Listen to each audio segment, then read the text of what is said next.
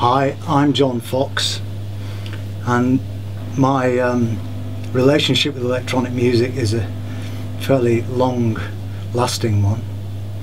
Um, it's been going on since I was about seven years old, I think. So we've got to know each other reasonably well by now, and haven't still haven't got divorced. What started off at seven years old? Um, American science fiction films that featured um, uh, theremins, which were probably one of the first, at least, uh, electronic instruments. And um, I didn't find out what the, these things actually were until I was about 13, when a friend of mine made one from a uh, transistor radio. He'd been reading electronics mags. There's a guy called Tony Bassett, and he's still making these things. And his first theremin was a converted transistor radio. And it was either going to be a musical instrument or a burglar alarm, because it worked by proximity. So, in other words, the nearer you went, the louder it screamed, which I thought was wonderful. And um, I was fascinated because you didn't touch anything. It was a, an electromagnetic sensor, in, in effect, and it sensed your nearness, which I thought was magical and, and very science fiction. So I, I got turned on all over again by that sound. Um, and oddly enough, even now, we still haven't got to using proximity fields enough. And I think it's one of my little theories that these have got to come into play yet. iPads have just used touch sensitivity, and I think the next phase is proximity. So we'll see.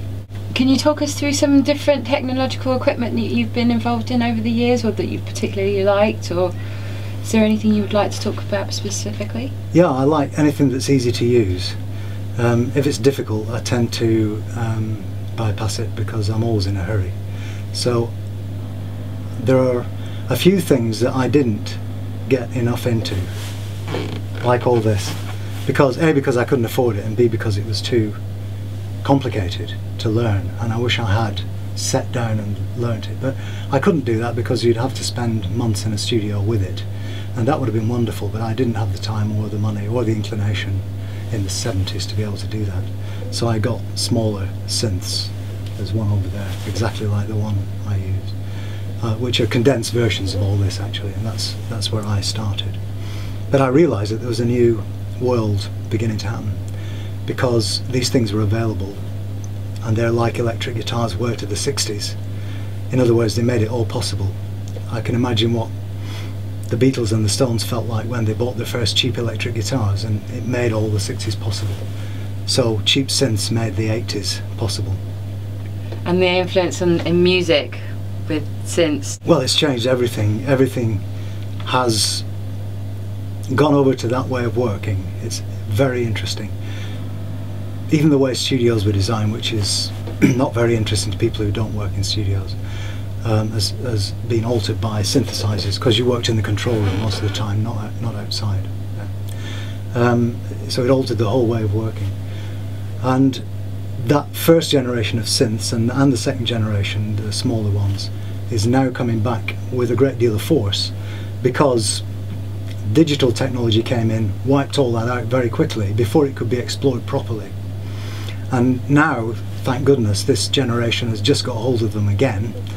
And because we can hear what's happening through modern sound systems, uh, is making better use of them than, than the original people did. So we've got a whole new generation using older equipment and making the best out of it with modern digital means. So you have the perfect marriage of control and organic wildness that they supply.